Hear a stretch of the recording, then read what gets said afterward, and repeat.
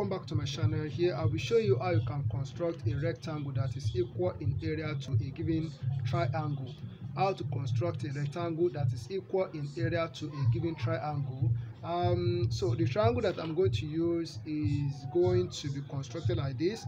Um so i will construct the rectangle and you see how i'm going to construct it. So uh, first of all we draw a horizontal line here.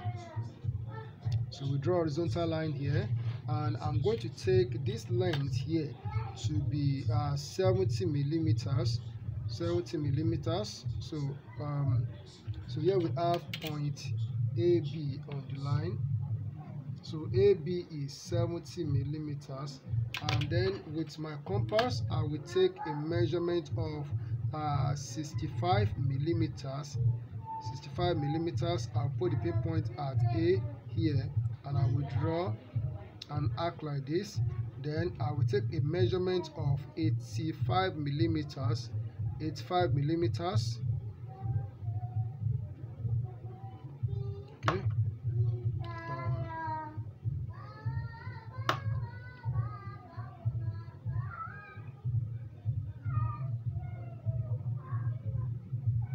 So this is 85 millimeters so I'll put it at point B put the midpoint at point B here I'll make an arc here like this. So uh, I'll just join. So this is point C now. So this is point C. So next thing I'm going to do is to join um, so AC so I will join AC together. So I'll join AC like this. And I will join BC together. Join BC together to get the triangle.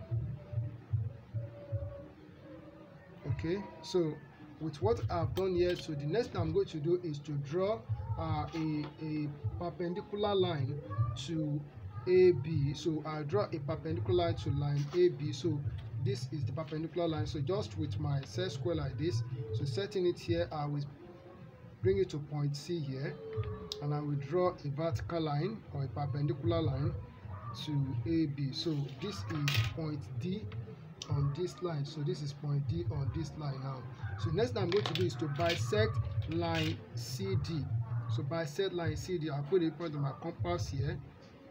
So extend to a convenient radius. I'll draw an arc here. And I will draw an arc here like this. Then I'll put it at D. So I'll draw an arc here and then I'll draw an arc here like this. So um okay so I believe you can see the point of intersection of the arc so the next thing i'm going to do is to join this together. So i join this together like this.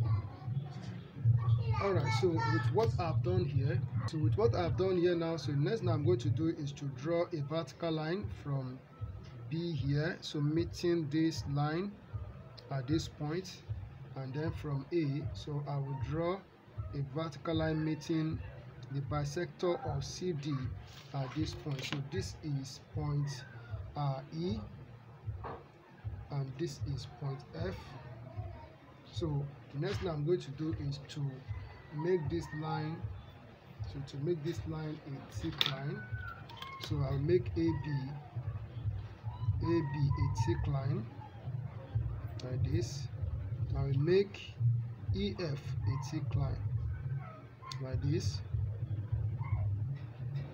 all right so we have formed the rectangle. So the, rec the required rectangle is rectangle abef so it's the required rectangle that is equal in area to triangle abc so this is how you can construct a rectangle that is equal in area to a given triangle. Thank you and keep on practicing. God bless you